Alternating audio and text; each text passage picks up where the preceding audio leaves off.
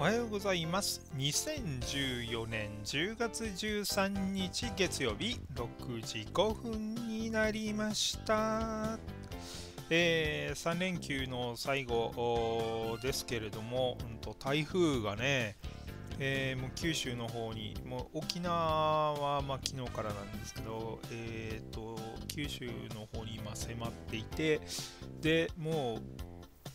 あっという間に、えーと、ここ駆け抜けて日本列島を駆け抜けていくような予報になってますね。まあ、関西はね、今夜の9時ぐらいっていうことで、で明日の朝にかけて、えー、ともう東北の方まで行ってしまうような話になってますけれども、えー、本当今日はあの気をつけてください。あの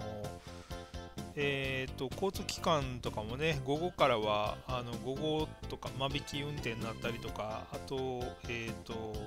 取りやめになってるのも結構あるみたいで、飛行機とかね、なんかはどんどんあの運休になってるみたいですけれども、なので、ちょっとお出かけは今日は厳しいんじゃないかなと思います。さて、えーと、今日はですね、神戸新聞、珍しく神戸新聞なんですけど、神戸新聞から、と、こちらのニュースですね。小型無人ヘリ空撮広がる災害情報収集や測量など多岐にっていうことで、まあ、あのいわゆるドローンと言われる無人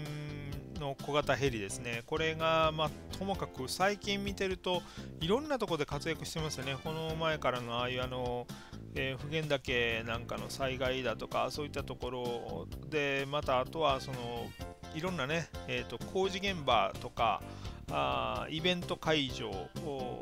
観光地などでもこうドローンがね飛び回っていると。で、この前どこかな、どっかの花火大会とかでもドローンでえー、空撮をしてて、逆にですね、観光客にもうブーイングだったという、そりゃまあそうですよね、えー、花火見てたら、そこになんか飛んでるぞっていうのが、特に写真とか撮ってる人からしたら、ちょい、おいおい、ふざけんなよっていう状態になるんだと思いますけど、なるんだというか、なりますよね。えー、で、まあ、そういう話がここには、まあ、その用途がねいっぱいあって、えー、特にその人が行けないような危険な地域とかでまたあの空撮するにしても従来のその、えー、プロペラ機大型のものだと入れないような場所も最近は小さい、えーと、機械で飛ばせてしかもカメラも進歩しているので、えーすごいその高解像度で撮影できたりとかでもってあと GPS とか搭載してるんでねその場所指定すると勝手に飛んでってくれるというのもありのその操作がものすごい楽になってきてるんですね。楽というか簡単というかもうほとんどあの何もしなくても自分で勝手に、えー、移動したりとかしてくれるので今までのヘリとかね、えー、リモコンのヘリとかありますけどあれってあのえー、産業用とかはね、結構難しいんですよね。で、産業用のヘリの免許とかそういうのもあったりするので、で、それと、あと、えー、いろんな法的な問題が実はいろいろ難しいところがあって、えー、こちらで、その、この記事にも書かれてるんですけど、現状ドローンなんかは、エンジンを積んでるわけでもなく、その、え要はラジコンラジコンよりももっと簡単でで免許が特に必要でないと。いうこともあってですね誰も彼もが飛ばすようになってきてると。で安いのだと本当に5万から10万ぐらいで売ってたりしますしうんだからこの辺のですね法整備をしていかないとえっ、ー、とそのこれからもしこうもしねなんかあの事故が起きた時、えー、ドローンが途中で操作誤ってとかあるいはドローン自体が故障して、えー、落っこってきてですね誰か怪我するとかあるいは車の前とかに落ちてきたら交通事故になったりとかする可能性ありますからそういった時にじゃあどういうふうにその責任を取るのかとかね、えー、あとはそのプライバシーの問題ですよね。えーと、マンションとかそういうまあ、民家が多いところで飛ばすとかですね。でした場合にその辺をどういうふうに取り締まるのか。で、えー、あとはそのまああの実際あったみたいなんですけど飛行禁止区域で飛ばしてそれが墜落したとかですね。そういったことがあってでだからそういう飛行禁止区域があるとかっていうことすらこんなのって分かんないですよね。あの免許を持ってるわけでもないから誰でもこれ飛ばせるので。だからそういったことをどうこれからあの制限していくのかあまたそのこういうのの飛行禁止区域っていうのを作っていかないとですね特に観光地とかうんあの、えー、山の頂上とかね、えー、そういうなのをこうね、えー、ある程度こう制限かけていかないとみんながみんなこんなもん持ってってあっちゃこっちゃで観光地で空からねこう映して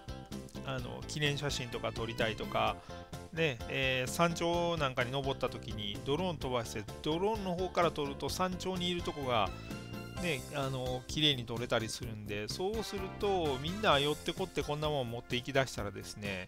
えー、その辺にいっぱいうじゃうじゃ飛んでると、えー、富士山なんかえらいことになりそうですよね。周りにいっぱいこんなのがブンブン飛び回ってて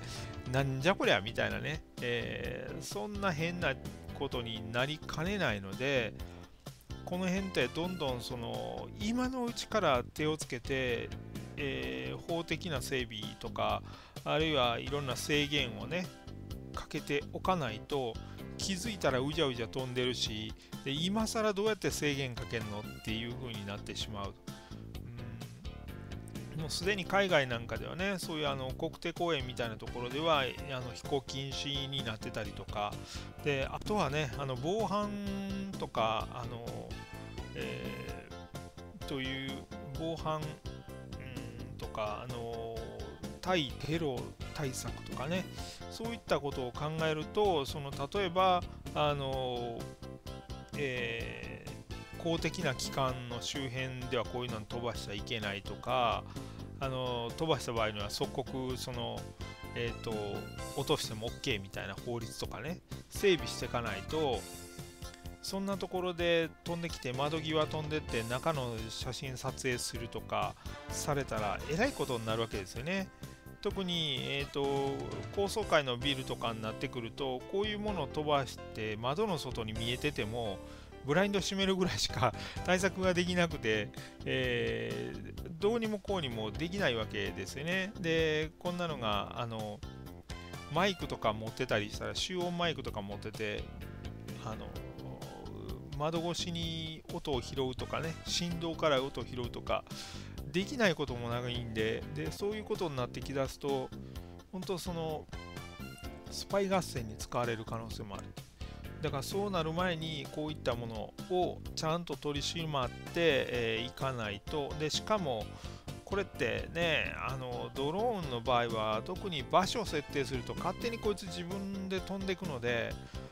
送信者がそれ誰が飛ばしたのかってなかなかわからないんですね。リモコンの場合はあの電波の届く範囲っていうことになるのでそんなに遠くまで行けないんですけども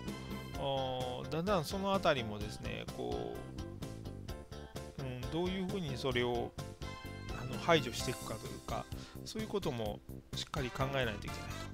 ということですよね。なかなかね考え出すと難しいんですよ本当そのどこまで許していいのかどこまで禁止しなきゃいけないかといってガッチガチにいろんなものをねあの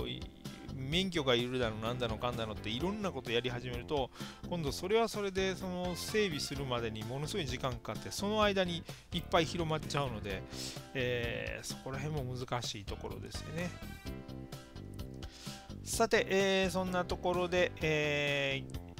6時15分になりました。うんと今日ね、台風がこう近づいてきてますんで、ぜひその辺は気をつけて、えー、で早め早めに対策というか、もうね、今日はあの外出て、風が強くなってから外出るの、本当危ないので、えー、何が飛んでくるかわからないですし、えっ、ー、と